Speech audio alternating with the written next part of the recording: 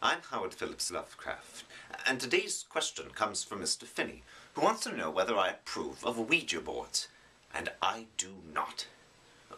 I'm willing to grant that they are interesting insofar as they allow us to look into mankind's capacity for mass suggestion or self-deception, but other than that, I find that they represent a whole strain of intellectual laziness that is spiritualism.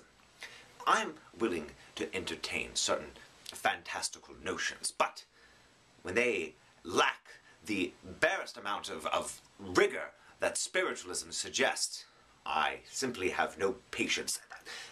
The mere notion that, that spirits have nothing better to do than to, to sit around waiting for some poor sap to put two planks of wood together and ask questions is, well, it's insulting.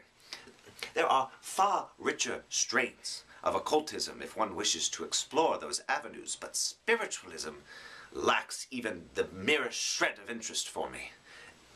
If you are interested in truly plumbing the depths of strangeness within the cosmos and the world, you're better served by microscopic or telescopic instruments than by any Parker Brothers toy.